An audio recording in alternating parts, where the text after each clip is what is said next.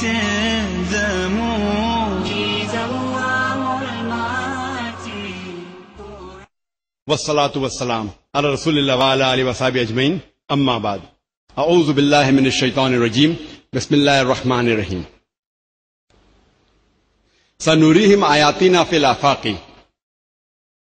وفي أنفسهم. حتى يتبين لهم أنه الحق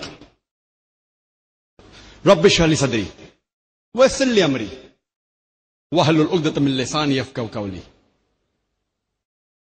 மேடையில் அமர்ந்திருக்கும் கண்ணியவான்களே எனது மதிப்பிற்குரிய பெரியோர்களே மற்றும் சகோதர சகோதரிகளே உங்கள் அனைவரையும் இஸ்லாமிய முகமன் கூறி வரவேற்கிறேன் அஸ்ஸலாமு அலைக்கும் வரஹ்மத்துல்லாஹி வபரகாத்துஹு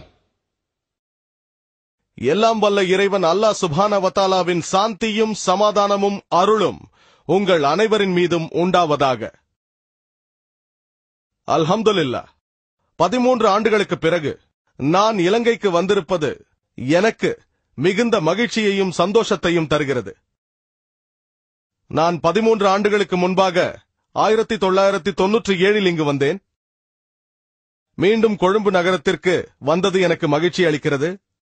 இது ஒரு மாபெரும் கூட்டம் அல்ஹம்துல்லா இதற்குரிய நற்கூலி உங்களுக்காக அல்லாஹ் சுபஹான வத்தாலாவிடம் இருக்கிறது. இந்த கூட்டு அமைப்பாளர்களுக்கும் நன்றியை தெரிவிக்கிறேன். இந்நிகழ்ச்சியை ஏற்பாடு செய்த முஸ்லிம் இயக்கங்களின் சம்மேளன அமைப்பாளர்கள் என்னிடத்தில் சொன்னார்கள் எல்லா முஸ்லிம் இயக்கங்களும் ஒருங்கிணைந்து ஒரு நிகழ்ச்சியை நடத்துவது இலங்கையில் இதுவே முதல் முறை என்றார்கள். அனைவருக்கும் சமாதானம் உண்டாக ஒரு ஒப்பற்ற நிகழ்ச்சி இது. இந்த நிகழ்ச்சியின் லட்சிய முழக்கம் என்னவென்றால் சமயத்தின் மூலம் சமாதானம்.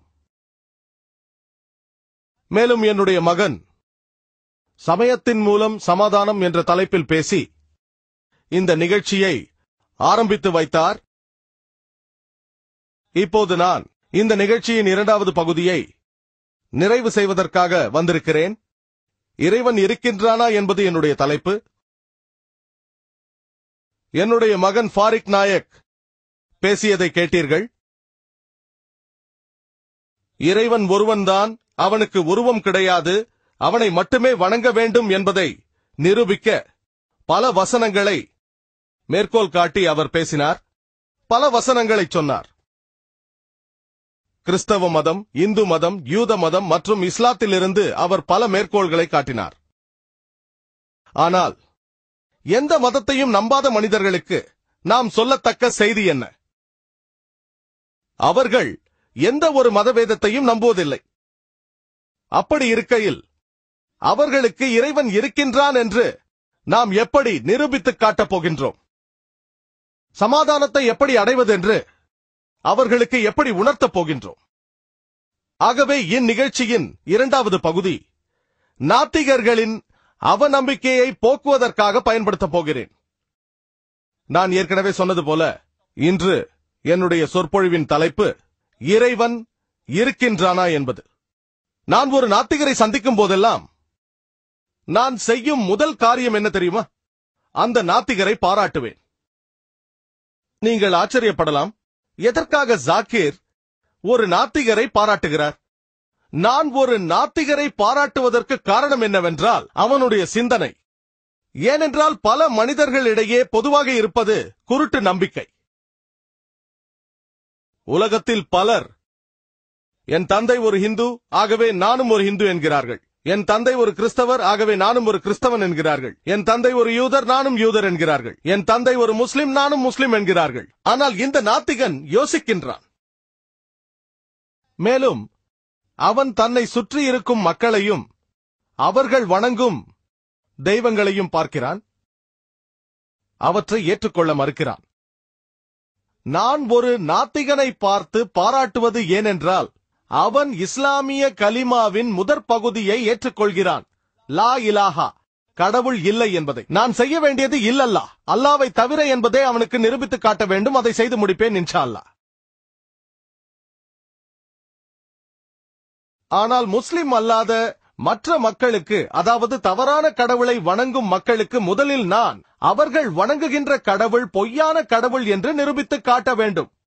அதன் பிறகு உண்மையான இறைவனை குறித்து நிரூபித்து காட்ட வேண்டும். இங்கு எனது பாதி வேலை முடிந்து விட்டது ஏனென்றால் ஒரு நாத்திகன் இஸ்லாமிய கலிமாவின் முதற் பகுதியை ஏற்றுக்கொள்கிறான். நான் நிரூபித்து காட்டாமலே ஏற்கிறான். லா இலாஹா கடவுள் இல்லை என்பதை. எனது பாதி வேலை முடிந்து விட்டது நான் செய்ய வேண்டியதெல்லாம் அல்லாவை தவிர என்பதை நிரூபித்து காட்ட வேண்டும். அதை நான் செய்து விடுவேன் இன்ஷா அல்லா அதன் பிறகு நபிகளாரை நம்ப வேண்டும். நான் ஒரு நாத்திகரை சந்திக்கும் போதெல்லாம் நான் அவரிடம் கேட்கும் முதல் கேள்வியானது கடவுள் என்றால் என்ன என்பது? உதாரணத்திற்கு இது ஒரு புத்தகம் என்று நான் சொன்னால் இதை புத்தகம் இல்லை என்று யாராவது சொல்ல வேண்டும் என்றால் அதன் வடிவிலக்கணம் அவருக்கு தெரிந்திருக்க வேண்டும். புத்தகத்தின் வடிவிலக்கணம் தெரியவில்லை என்றால் இது புத்தகம் இல்லை என்று சொல்ல முடியாது. இது புத்தகம் இல்லை என்று யாராவது சொன்னார்கள் என்றால் என் கையில் இருப்பது என்னவென்று அவர்களுக்கு தெரியாமல் இருக்கலாம்.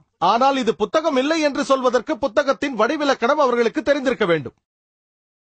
சிலர் கூறலாம் இல்லை சகோதரர் ஜாக்கிர் இது பேனா என்று எனக்கு தெரிந்திருந்தால் எனக்கு புத்தகத்தின் வடிவிலக்கணம் தெரியவில்லை என்றாலும் இதை புத்தகம் இல்லை என்று கூறலாமே என்பார்கள். அந்த கருத்தை ஏற்க முடியாது. இது பேனா என்று உங்களுக்கு தெரிந்திருந்தாலும் நான் கேட்பதற்கான வடிவிலக்கணம் உங்களுக்கு தெரியவில்லை என்றால் உதாரணத்திற்கு நான் இது ஒரு கலம் என்கிறேன். உங்களுக்கு பேனாவின் வடிவிலக்கணம் தெரிந்திருக்கலாம் ஆனால் கலமின் வடிவிலக்கணம் தெரியவில்லை என்றால் இது உண்மையில் கலம்தானா இல்லையா என்று உங்களால் சொல்ல முடியாது. ஏனென்றால் அரபு மொழியில் கலம் என்றால் பேனா என்று பொருள் உருது மொழியிலும் கலம் என்றால் பேனாதான். ஆகவே இது அந்த வகையை சார்ந்தது அல்ல என்று சொல்வதற்கு அதன் வடிவிலக்கணம் தெரிந்திருக்க வேண்டும். ஆகவே இதை நான் புத்தகம் என்று சொன்னால் இது புத்தகம் அல்ல என்று சொல்வதற்கு உங்களுக்கு அதன் வடிவிலக்கணம் தெரிந்திருக்க வேண்டும். உங்களுக்கு தெரியவில்லை என்றால் இதை புத்தகம் அல்ல என்று சொல்ல முடியாது. அதே போல கடவுள் இல்லை என்று சொல்லும் நபருக்கு கடவுளின் வடிவிலக்கணம் தெரிந்திருக்க வேண்டும். கடவுளை பற்றி தெரியவில்லை என்றால் கடவுள் இல்லை என்று சொல்ல முடியாது. இந்த நாத்திகன் தன்னை சுற்றி இருக்கும் மனிதர்கள் எவ்வாறு பல வகையான கடவுள்களை வணங்குகிறார்கள் என்பதை பார்த்துத்தான் கடவுளை குறித்து புரிந்து கொள்கிறான். அதன் பிறகு அவன் யோசிக்கின்றான். இந்த கடவுளும் என்னைப் போலத்தானே இருக்கிறார்? இந்த கடவுளுக்கு உணவு தேவை ஓய்வு தேவை உறக்கம் தேவை அவருக்கு உதவியும் தேவை. ஆகவே இப்படிப்பட்ட கடவுளை நம்பி என்ன பிரயோஜனம் என்று யோசிக்கிறார் உதாரணத்திற்கு யாராவது ஒருவர் எனக்கு இஸ்லாத்தின் மீது நம்பிக்கை இல்லை அது தீவிரவாதிகளின் மதம் அங்கு பெண்களுக்கு சுதந்திரம் இல்லை அங்கு மனிதர்களுக்கே சுதந்திரம் இல்லை அதில் விஞ்ஞானபூர்வமான உண்மைகள் இல்லை. ஆகவே இப்படிப்பட்ட ஒரு மதமான இஸ்லாம் மதத்தின் மீது எனக்கு நம்பிக்கை இல்லை என்று சொன்னால் தீவிரவாதத்தை ஆதரிக்கும் மதத்தின் மீது எனக்கும் நம்பிக்கை இல்லை என்று நான் அவருக்கு பதில் கூறுவேன். பெண்களுக்கு சுதந்திரம் அளிக்காத மனிதர்களுக்கு சுதந்திரம் அளிக்காத விஞ்ஞானபூர்வமான ஆக்கப்பூர்வமான உண்மை இல்லாத மதத்தை நானும் நம்பவில்லை என்பேன். இந்த மனிதர் ஏன் இஸ்லாத்தை நம்பவில்லை? இவரை பொறுத்தவரையில் இஸ்லாத்தில் தீவிரவாதம் இருக்கிறது. பெண்களுக்கு சுதந்திரம் இல்லை. மனிதர்களுக்கே சுதந்திரம் இல்லை. ஆக்கப்பூர்வமான விஞ்ஞானபூர்வமான உண்மைகள் இல்லை என்று நினைத்துக் கொண்டிருக்கிறார். அவருக்கு இஸ்லாத்தை குறித்து கிடைத்திருக்கும் கருத்து தவறான கருத்து. நானும் இது போன்ற இஸ்லாத்தை நம்பவில்லை. நான் நம்பிக்கை வைத்திருக்கும் இஸ்லாம் என்று அழைக்கப்படும் மதமானது தீவிரவாதத்தை ஏற்றுக்கொள்ளாத மார்க்கமாகும். ஏனென்றால் திருக்குரான் சூரா மாய்தா அத்தியாயம் ஐந்து வசனம் முப்பத்தி இரண்டில் ஒரு கொலைக்காக அல்லது பூமியில் குழப்பத்தை உண்டு பண்ணியதற்காக ஒரு குற்றவாளியை நீதியை காக்க கொன்று தண்டனையை நிறைவேற்றலாம். அதுவன்றி அநியாயமாக ஒரு மனிதனை கொன்றால் ஒட்டுமொத்த மனித சமுதாயத்தையே கொன்றதற்கு ஒப்பாகும். இஸ்லாத்தின் மூளைக்கல்லான திருக்குறானை பொறுத்தவரையில் ஒரு அப்பாவியை கொன்றால் ஒரு நாட்டையே கொன்றதற்கு சமமாகும். ஆகவே இப்படிப்பட்ட ஒரு மதம் தீவிரவாதத்தையும் அப்பாவிகளை கொல்வதையும் ஏற்குமா? எனக்கு தெரியும். இஸ்லாம் பெண்களுக்கு உரிமைகளை வழங்கியுள்ளது. இஸ்லாம் மனிதர்களுக்கு உரிமைகளை வழங்கியுள்ளது. இஸ்லாத்தில் அறிவுபூர்வமான விஞ்ஞானபூர்வமான உண்மைகள் இருக்கிறது என்றும் எனக்கு தெரியும். தீவிரவாதத்தை ஆதரிக்கும் ஒரு மதத்தை பெண்களுக்கு உரிமை வழங்காத ஒரு மதத்தை மனிதர்களுக்கு உரிமை அளிக்காத மதத்தை விஞ்ஞானபூர்வமான அறிவுபூர்வமான உண்மைகள் இல்லாத மதத்தை நானும் நம்ப மறுக்கிறேன். ஆனால் அந்த நபருக்கு இஸ்லாத்தின் உண்மையான கோட்பாடுகளை நான் விளக்கிச் சொல்ல கடமைப்பட்டிருக்கிறேன். இஸ்லாத்தின் சரியான கொள்கை கோட்பாடுகளை தெளிவுபடுத்த வேண்டியது ஒரு முஸ்லிமாகிய எனது கடமை. இன்று மீடியாவில் இஸ்லாத்தை குறித்து தவறான கருத்துக்கள் பரப்பப்படுகின்றன. முஸ்லிம் அல்லாத பல மக்கள் இஸ்லாத்தை குறித்து தவறாக புரிந்து கொண்டிருக்கிறார்கள். ஏனென்றால் மீடியாவிலிருந்து அவர்களுக்கு தவறான தகவல்கள் கிடைக்கின்றன. மீடியா இஸ்லாத்தை குறித்து தவறான தகவல்களை பரப்புகிறது. இஸ்லாம் தீவிரவாதிகளுக்கு ஆதரவு அளிக்கிறது. இஸ்லாத்தில் பெண்களுக்கு உரிமை இல்லை. இஸ்லாத்தில் மனிதர்களுக்கு உரிமை இல்லை. இஸ்லாமிய மதம் அறிவுபூர்வமான விஞ்ஞானபூர்வமான உண்மைகளை ஆதாரமாக கொண்டது அல்ல. ஆகவே நான் சொல்கிறேன் இப்படிப்பட்ட இஸ்லாத்தை நானும் ஏற்க மறுக்கிறேன். எந்த ஒரு அப்பாவி மனிதனையும் கொல்லக்கூடாது என்று நம்புகிற உண்மையான இஸ்லாம் மதத்தின் மீது எனக்கு நம்பிக்கை உள்ளது. பெண்களுக்கு உரிமை வழங்குவதில் எனக்கு நம்பிக்கை உள்ளது. அறிவுபூர்வமான விஞ்ஞானபூர்வமான உண்மைகளை ஆதாரமாக கொண்ட இஸ்லாத்தை நான் நம்புகிறேன். அதேபோல் ஒரு நாத்திகன் கடவுள் இல்லை என்று சொல்லும் பொழுது தன்னை சுற்றி அவன் பார்க்கும் கடவுள் கோட்பாடுகளையே அவன் மறுக்கின்றான். அவனை பொறுத்தவரையில் எல்லாம் வல்ல இறைவனுக்கு உணவு தேவை பருக நீர் தேவை அவருக்கு ஓய்வு தேவை அவருக்கு உறக்கம் தேவை அவர் தோல்வியை சந்திப்பார் அவரை துன்புறுத்த முடியும். இப்படிப்பட்ட ஒரு கடவுளை அவன் தன்னை சுற்றி பார்க்கும் பொழுது அதை நான் நம்பவில்லை என்கிறான். நான் அவனிடம் இப்படிப்பட்ட கடவுளை நானும் நம்பவில்லை என்பேன். லா இலாஹா. ஆனால் உண்மையான இறைவன் அல்லாவை நம்புகிறேன். இல்லல்லா. ஆகவே நான் அல்லாஹ் சுபானவத்தாலாவின் உண்மையான கோட்பாடுகளை அந்த நாத்திகனுக்கு விளக்கிச் சொல்ல வேண்டும்.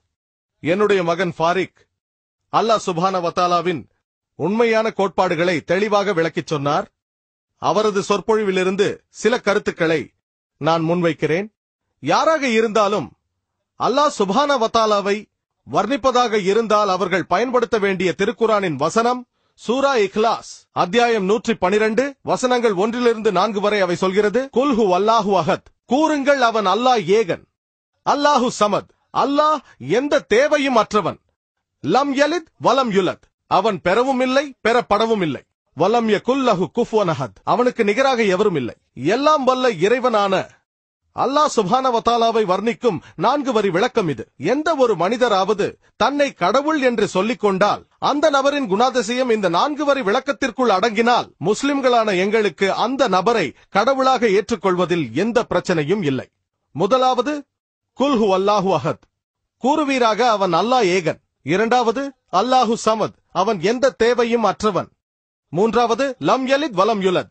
அவன் பெறவும் இல்லை பெறப்படவும் இல்லை வலம் யகுல்லஹு குஃபோன் அஹத். அவனுக்கு நிகர் எவரும் இல்லை எல்லாம் வல்ல இறைவன் அல்லாஹ் சுபான வத்தாலாவை வர்ணிக்கும் நான்கு வரி விளக்கம் இது. யாராவது ஒரு நபரை இவர் ஒரு கடவுள் என்று சொன்னால் அந்த நபரின் குணாதிசயங்கள் இந்த நான்கு வரி விளக்கத்திற்குள் அடங்கினால் முஸ்லிம்களான எங்களுக்கு அவரை கடவுளாக ஏற்றுக்கொள்வதில் எந்த ஆட்சேபனையும் இல்லை. இந்த சூரா இக்லாஸ் அத்தியாயம் இறையியலின் உரைக்கல்லாகும். இறையியலை தான் ஆங்கிலத்தில் தியாலஜி என்பார்கள். அதாவது கடவுளை பற்றி தெரிந்து கொள்வது. சூரா இஹ்லாஸ் அத்தியாயம் இறையியலின் உரைக்கல்லாகும் யாராவது ஒருவர் இந்த நான்கு வரி விளக்கத்திற்குள் அடங்கினால் அவரை கடவுளாக ஏற்றுக்கொள்வதில் முஸ்லிம்களான எங்களுக்கு எந்த பிரச்சனையும் இல்லை. உதாரணத்திற்கு சில மனிதர்கள் பகவான் ரஜினிஷை கடவுள் என்று சொல்கிறார்கள். ஒரு கேள்வி பதில் நேரத்தில் ஒரு இந்து சகோதரர் என்னிடம் சொன்னார் பகவான் ரஜினிஷை இந்துக்களான நாங்கள் கடவுளாக ஏற்கவில்லை என்றார். ஒருபோதும் நான் இந்துக்கள் பகவான் ரஜினிஷை கடவுளாக ஏற்கிறார்கள் என்று சொன்னதில்லை. நான் இந்து மத வேதங்களை படித்திருக்கிறேன். அதில் எந்த இடத்திலும் பகவான் ரஜினிஷ் கடவுள் என்று சொல்லப்படவில்லை. சில மனிதர்கள் பகவான் ரஜினிஷை கடவுளாக ஏற்றுக்கொள்கிறார்கள் என்றுதான் சொன்னேன். இப்போது சூரா இக்லாஸ் அத்தியாயத்தை வைத்து பகவான் ரஜினிஷை சோதித்து பார்ப்போம். முதலாவது குல்ஹு அல்லாஹு அஹத். கூறுவீராக அல்லாஹ் ஏகன். பகவான் ரஜினிஷை ஏகன் என்று சொல்ல முடியுமா? தான் கடவுள் என்ற கோரிக்கையை அவர் ஒருவர்தான் முன்வைத்தாரா? ஆயிரக்கணக்கானோர் அந்த கோரிக்கையை முன்வைத்துள்ளார்கள். நீங்கள் எனது நாடான இந்தியாவை பார்த்தீர்களேயானால் நூற்றுக்கணக்கானோர் ஆயிரக்கணக்கானோர் தங்களை கடவுள் என்று சொல்லிக் கொண்டிருக்கிறார்கள். ஆகவே பகவான் ரஜினிஷ் இதில் தனித்தன்மை வாய்ந்தவர் அல்ல. ஆனால் பகவான் ரஜினிஷின் பக்தரை கேட்டால் அவர் வித்தியாசமானவர் என்பார். தனித்தன்மை வாய்ந்தவர் என்பார்கள். ஆகவே அடுத்த பரிசோதனைக்கு செல்வோம். அல்லாஹு சமத். அவன் நித்தியன் எத்தேவையும் அற்றவன் ரஜ்னீஷ் எத்தேவையும் மற்றவரா அவருடைய சுயசரிதையை படித்து பார்த்தால் அதில் அவர் ஆஸ்துமா நோயால் பாதிக்கப்பட்டதாக குறிப்பிடப்பட்டுள்ளது. அவருக்கு நீரிழிவு நோயும் முதுகு வலியும் இருந்ததாம். யோசித்து பாருங்கள் எல்லாம் வல்ல இறைவன் முதுகு வலியாலும் ஆஸ்துமா நோயாலும் நீரிழிவு நோய்